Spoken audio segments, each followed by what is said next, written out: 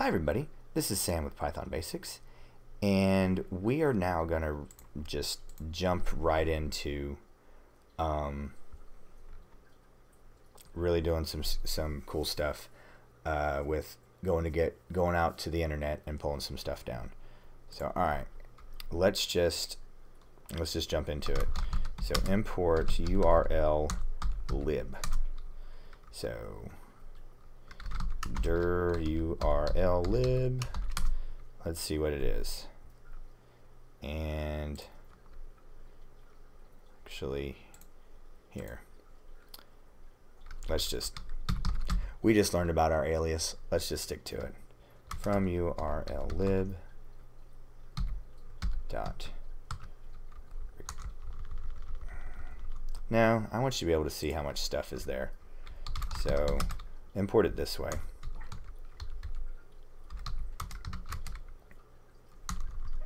dot request.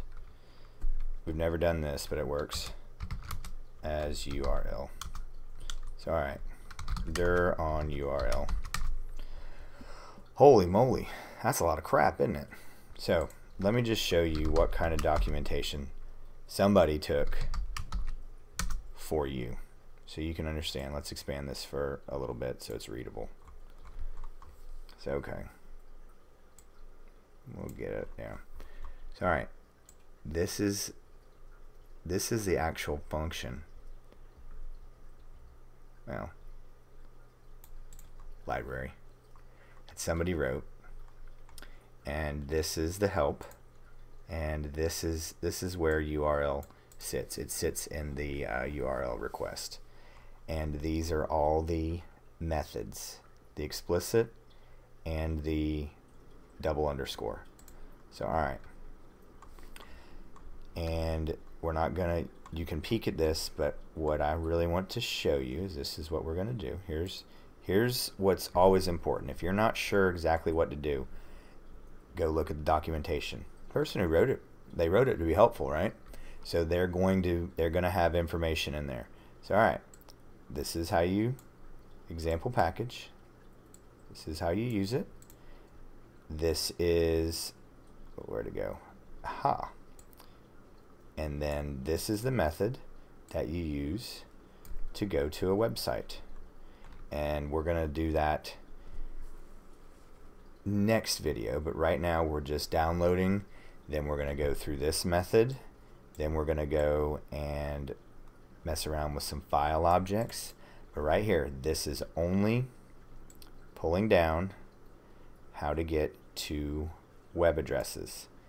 And it's url lib.request and then there's a really cool because we will just here. So we did it as our alias.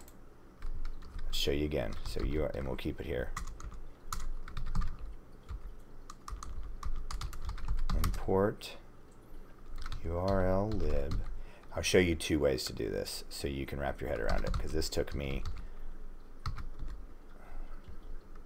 uh, let's see. Request I spelled that right as URL so URL and that let's make sure I did it. URL there we go. Or plug this out so we don't get an input import error from url lib import request as URL.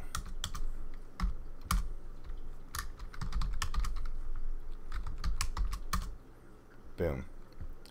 Two different ways to do it. Whichever way makes sense to you. So this is this is like your directory. Think about that. Each dot you do, it's like your directory.